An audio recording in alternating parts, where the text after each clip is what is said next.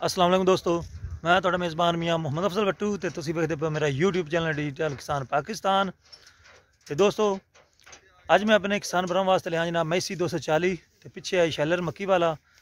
ਇਸ ਦੀ ਪਰਫਾਰਮੈਂਸ ਦੇ ਬਾਰੇ ਗੱਲ ਕਰਾਂਗੇ ਤੇ ਬਲਕਿ ਪਰਫਾਰਮੈਂਸ ਤੁਹਾਨੂੰ ਵਿਖਾਵਾਂਗੇ ਤੇ ਡਰਾਈਵਰ ਨਾਲ ਵੀ ਗੱਲ ਕਰਾਂਗੇ ਵੀ ਕਿੰਨਾ ਕੁ ਡੀਜ਼ਲ ਦਾ ਇਸਤੇਮਾਲ ਕਰਦੇ ਨੇ ਤੇ ਕਿਰਾਇਆ ਕਿੰਨਾ ਲੈਂਦੇ ਪਏ ਨੇ। ਤੇ ਪਿੱਛੇ ਤੁਸੀਂ ਵੇਖਦੇ ਪਏ ਹੋ ਟਰਾਲਾ ਮੌਜੂਦ ਹੈ, ਉਹਦੇ ਵਿੱਚ ਸਿੱਧਾ ਹੀ ਪਾਈਪ ਲੱਗਿਆ ਹੋਇਆ ਬੂਮੇ ਦਾ। ਉਹਦੇ ਵਿੱਚ ਸੁੱਟੇਗਾ, ਜਦੋਂ ਟਰਾਲਾ ਮੁਕੰਮਲ ਹੋ ਜਾਵੇਗਾ ਮਕਈ ਗਿਆ ਜਾਵੇਗੀ ਤੇ ਸਿੱਧਾ ਮੰਡੀ ਵਿੱਚ ਤੇ ਪੁੱਛਨੇ ਆ ਵੀ ਅੱਜ ਕੱਲ੍ਹ ਰੇਟ ਕਿੰਨਾ ਚੱਲਦਾ ਪਿਆ ਹੈ ਤੇ ਮਜ਼ਦੂਰ ਕਿੰਨਾ ਰੇਟ ਲੈਂਦੇ ਪਏ ਨੇ। ਆਓ ਚਲਿਏ ਗੱਲ ਕਰੀਏ। ਤੇ ਦੋਸਤੋ ਸਾਡੇ ਨਾਲ ਡਰਾਈਵਰ ਭਾਈ ਮੌਜੂਦ ਨੇ ਉਹਨਾਂ ਨਾਲ ਗੱਲ ਕਰਨੇ ਜੀ। ਅਸਲਾਮ ਭਾਈ ਜਾਨ। ਕੀ ਹਾਲ ਚਾਲ ਨੇ? ਵੀ ਇਹ ਠੀਕ ਹੈ? ਇਹ ਜਿਹੜਾ ਮੈਸੀ 240 ਹੈ ਹਾਂਜੀ। ਕਿਹੜਾ ਮਾਡਲ ਹੈ? 8 ਇਹ ਸ਼ੁਰੂ ਤੋਂ ਆਪਾਂ ਲਿਆ ਜਾਂ ਚੱਲਦਾ ਲਿਆ? ਚੱਲਦਾ ਸੀ ਤੇ ਇਹ ਕਿਹਦਾ ਚੱਲਦਾ ਪਿਆ? ਬਿਹਤਰੀਨ। ਬਿਹਤਰੀਨ ਚੱਲਦਾ ਪਿਆ ਇਹ ਪਿੱਛੇ ਜਿਹੜਾ ਆਪਾਂ ਪਾਇਆ ਹੋਇਆ ਸ਼ੈਲਰ ਹਾਂਜੀ। ਇਹਦੇ ਤੇ ਕਿੰਨਾ ਖਰਚਾ ਕਰ ਜਾਂਦਾ ਹੈ? ਹੈਲਰ ਤੇ 2 ਲੀਟਰ ਕਿਲੇ ਤੇ ਕਰ ਦਿੰਦਾ 2 ਲੀਟਰ ਪੀ ਜਾਂਦਾ ਹੈ। 2.5 ਲੀਟਰ 2.5 ਲੀਟਰ। 2 2.5 ਲੀਟਰ। ਤੇ ਆਪਾਂ ਮਜ਼ਦੂਰੀ ਕਿੰਨੀ ਲੈਨੇ ਕਿੱਲੇ ਦੀ? ਕਿਲੇ ਦੇ 1000 ਰੁਪਏ ਲੈ ਰਹੇ 1000 ਰੁਪਏ ਲੈ ਲੈਂਦੇ ਨੇ। ਜੇ ਅਗਰ ਲੇਬਰ ਵੀ ਤੁਹਾਡੇ ਨਾਲ ਹੋਵੇ ਇੱਕ ਬੰਦਾ ਕਹਿੰਦਾ ਵੀ ਲੇਬਰ ਆਪਣੀ ਨਾਲ ਲੈ ਕੇ ਆ ਤਾਂ ਫਿਰ ਕਿਤਨੀ ਲੈਂਦੇ ਜੀ? ਫਿਰ 2500 ਰੁਪਏ। 2500 ਰੁਪਇਆ ਤੇ ਝਾੜ ਇਹ ਜਿਹੜੀ ਮੌਸਮੀ ਮਕਈ ਹੈ ਇਹ ਕਿੰਨਾ ਕੁ ਨਿਕਲਦਾ ਪਿਆ ਹੈ? 60 65 60 65 ਮਣ ਨਿਕਲਦਾ ਪਿਆ। ਰੇਟ ਕੀ ਚੱਲ ਰਿਹਾ ਹੈ? 15 ਤੋਂ 16 17 ਤਾਈ 15 16 1500 ਤੋਂ ਲੈ ਕੇ 1700 ਤੱਕ ਆ ਜਿਹੜੇ ਤੁੱਕੇ ਨਿਕਲੇ ਪਏ ਨੇ ਇਹ ਕੀ ਹਿਸਾਬ ਵਿਕਦੇ ਨੇ? ਅੱਗੇ ਜੀ 6 ਕਿਲੇ ਕੱਢੇ ਸੀ ਨਾ 20000 ਦੇ ਵਿੱਚ ਅਸੀਂ ਹੁਣੇ ਕਨਫਰਮ ਨਹੀਂ ਨਾ ਜ਼ਿਮੀਂਦਾਰਾਂ ਦਾ ਇੱਕ ਅੱਛਾ। ਮਤਲਬ ਵੀ 6 ਕਿੱਲਿਆਂ ਦੇ 20000 ਦੇ ਇਹ ਤਾਂ ਮਤਲਬ 3000 2500 ਦਾ ਕਿੱਲਾ ਪੈ ਗਿਆ। ਬਿਲਕੁਲ। ਸਹੀ ਹੋ ਗਿਆ। ਤੇ ਮੈਸੀ 240 ਚੰਗਾ ਖਿੱਚਦਾ ਹੈ। ਆ ਜਿਹੜਾ ਸ਼ੈਲਰ ਹੈ ਇੱਕ ਘੰਟੇ ਚ ਕਿੰਨੇ ਕਿੱਲੇ ਗਾ ਸਕਦਾ ਹੈ? ਮਕਈ ਸੁੱਕੀ ਹੋਵੇ ਤੇ ਫਿਰ 3-4 ਕਿਲੇ ਗਏ ਤਿੰਨ ਚਾਰ ਕਿੱਲੇ ਗਿਆ ਜੈਸੀ ਤੇ ਜਿਹੜੀ ਤੁਹਾਡੇ ਮਜ਼ਦੂਰ ਨੇ ਇਹਨਾਂ ਦੀ ਤਾਦਾਦ ਕਿੰਨੀ ਹੋਣੀ ਚਾਹੀਦੀ ਮਸ਼ੀਨ ਤੇ? ਅਗਰ ਮੌਸਮੀ ਹੋਵੇ ਤਾਂ ਫਿਰ 10-12 ਮੁੰਡੇ ਸਾਇ ਨੂੰ ਅਗਰ ਹੋਵੇ ਗਰਮੀ ਦੀ। ਬਾਰੀਆ? ਬਾਰੀਆ ਫਿਰ ਜ਼ਿਆਦਾ। ਫਿਰ ਜ਼ਿਆਦਾ? ਹਾਂਜੀ। ਠੀਕ ਹੋ ਗਿਆ। ਚਲੋ ਇਸ ਨੂੰ ਚਲਾਓ ਤਾਂ ਕਿ ਇਸ ਦੀ ਪਰਫਾਰਮੈਂਸ ਵਿਖਾਈਏ ਆਪਣੇ ਕਿਸਾਨ ਭਾਈਆਂ ਨੂੰ।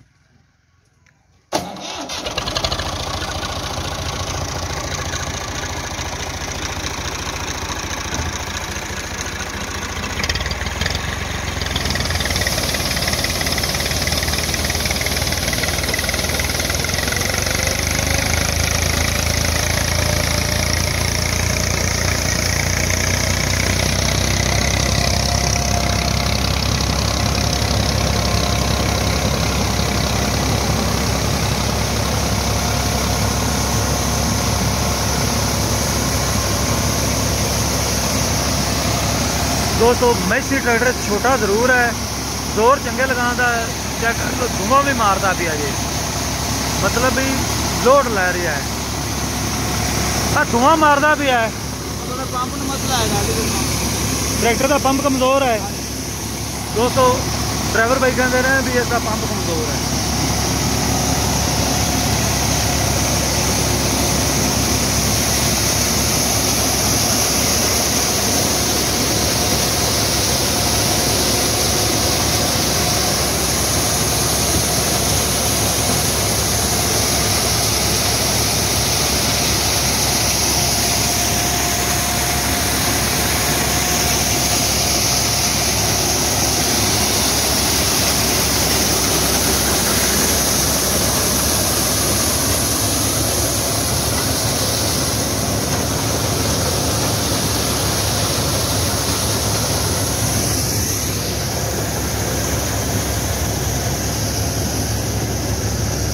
ਦੋਸਤੋ ਚੈੱਕ ਕਰ ਲਓ ਜੀ।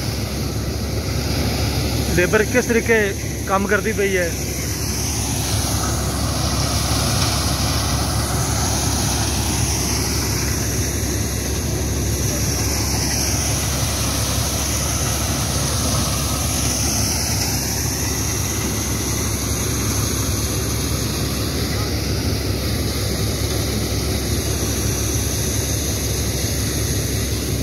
ਜਿੰਨੇ ਵੀ ਵਜ਼ੀਰ ਮਸ਼ੀਰ ਹੈਗੇ ਨੇ ਨਾ, ਇੱਕ ਵਾਰੀ ਇਹਨਾਂ ਦੋਸਤਾਂ ਨੂੰ ਲਿਆਉਣਾ ਚਾਹੀਦਾ ਤਾਂ ਬੋਰੀਆਂ ਇਹਨਾਂ ਦੀ ਕੰਡ ਤੇ ਰੱਖਣੀਆਂ ਚਾਹੀਦੀਆਂ ਨੇ।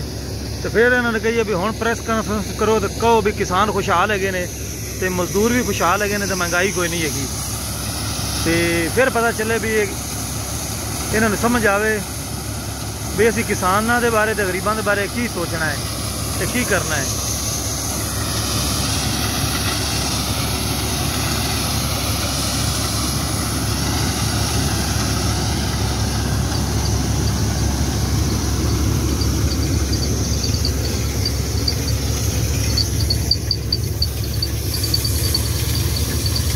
ਬੱਤੀ ਚੈੱਕ ਕਰ ਲਓ ਜਨਾਬ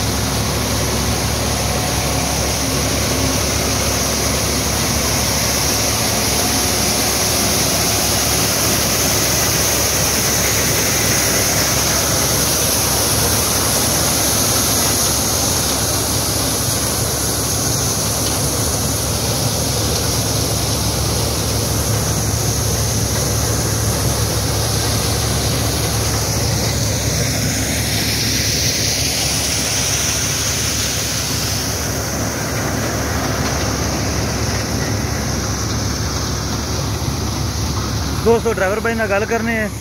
ਆ ਜਿਹੜਾ ਸ਼ੈਲਰ ਹੈ ਅੱਜ ਕੱਲ ਇਹਦਾ ਰੇਟ ਕਿੰਨਾ ਹੈ ਤੇ ਇਹ ਕਿਹੜਾ ਮਾਡਲ ਹੈ, ਇਹ ਕਿੰਨੇ ਦਾ ਉਹਨਾਂ ਲਿਆ ਸੀ? ਅਰਸ਼ਦ ਬਾਈ ਮੈਨੂੰ ਦੱਸਿਆ ਵੀ ਆ ਜਿਹੜਾ ਸ਼ੈਲਰ ਹੈ, ਇਹ ਕਿੰਨੇ ਦਾ ਆਪਾਂ ਲਿਆ ਸੀ? ਇਹ ਕਿੰਨੇ ਸਾਲ ਚੱਲਿਆ ਹੋਇਆ ਹੈ?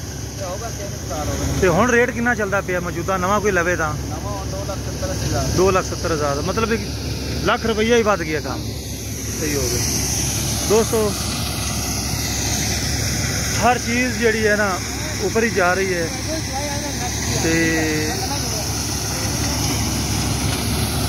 ਅਗਰ ਇਹ ਸਪੀਡ ਰਹੀ ਤਾਂ ਮੇਰਾ ਖਿਆਲ ਹੈ ਵੀ ਕਿਸਾਨਾਂ ਵਾਸਤੇ ਬਹੁਤ ਮੁਸ਼ਕਲ ਹੋਵੇਗੀ, ਕਿਉਂਕਿ ਜਿਹੜਾ ਜ਼ਰਾਈ ਹਾਲਾਤ ਨੇ ਕਾਫੀ ਮਹਿੰਗੇ ਨੇ, ਪਹਿਲੇ ਤੋਂ ਡੀਜ਼ਲ ਮਜ਼ੀਦ ਮਹਿੰਗਾ, ਜਦੋਂ ਡੀਜ਼ਲ ਮਹਿੰਗਾ ਹੁੰਦਾ ਹੈ ਜਾਂ ਪੈਟਰੋਲ, ਉਹ ਹਰ ਚੀਜ਼ ਨੂੰ ਮਹਿੰਗਾ ਕਰ ਦਿੰਦਾ ਹੈ। ਤਾਂ ਹਕੂਮਤ ਨੂੰ ਚਾਹੀਦਾ ਹੈ ਮਿਹਰਬਾਨੀ ਕਰਕੇ ਕਿਸੇ ਤਰੀਕੇ ਡੀਜ਼ਲ ਨੂੰ ਤੇ ਪੈਟਰੋਲ ਨੂੰ ਰੋਕ ਕੇ ਰੱਖੇ ਤੇ ਮਹਿੰਗਾਈ ਆਪਣੇ ਆਪ ਹੀ ਰੁਕੀ ਰਹੇਗੀ ਅਗਰ ਇਹ ਚੀਜ਼ਾਂ ਉਹਨਾਂ ਕੋਲ ਰੁਕੀਆਂ ਨਾ, ਤਾਂ ਫਿਰ ਮੇਰਾ ਖਿਆਲ ਹੈ ਵੀ ਮਾਮਲਾਤ ਖਰਾਬ ਹੋਣਗੇ।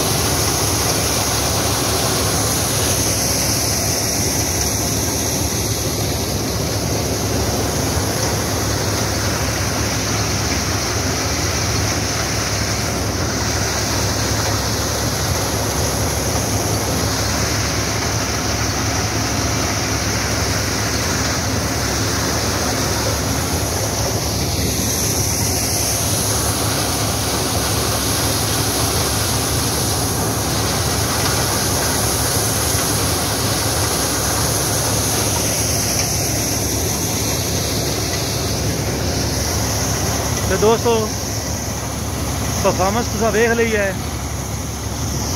ਤੇ ਇਸ ਬਾਰ ਤੁਹਾਨੂੰ ਦੱਸ ਵੀ ਦਿੱਤਾ ਹੈ ਰੇਟ ਕਿਰਾਇਆ ਕਿੰਨਾ ਹੈ ਡੀਜ਼ਲ ਦਾ ਖਰਚਾ ਕਿੰਨਾ ਹੈ, ਸਾਰੀ ਮਾਲੂਮਾਤ ਦੇ ਦਿੱਤੀ ਹੈ ਪਰਫਾਰਮੈਂਸ ਵੀ ਤੁਹਾਨੂੰ ਵਿਖਾ ਦਿੱਤੀ ਹੈ। ਤੇ ਇਹ ਮਜ਼ਦੂਰਾਂ ਦੀ ਮਜ਼ਦੂਰੀ ਦੇ ਬਾਰੇ ਵੀ ਦੱਸ ਦਿੱਤਾ ਹੈ। ਤੇ ਹੁਣ ਮੈਂ ਤੁਹਾਡੇ ਸਾਰੇ ਦੋਸਤਾਂ ਤੋਂ ਲੈਣਾ ਇਜਾਜ਼ਤ ਤੁਹਾਡਾ ਭਰਾ ਮੀਆਂ ਮੁਹੰਮਦ ਅਫਜ਼ਲ ਬੱਟੂ। ਅੱਲਾ ਹਾਫਿਜ਼ ਪਾਕਿਸਤਾਨ ਜ਼ਿੰਦਾਬਾਦ।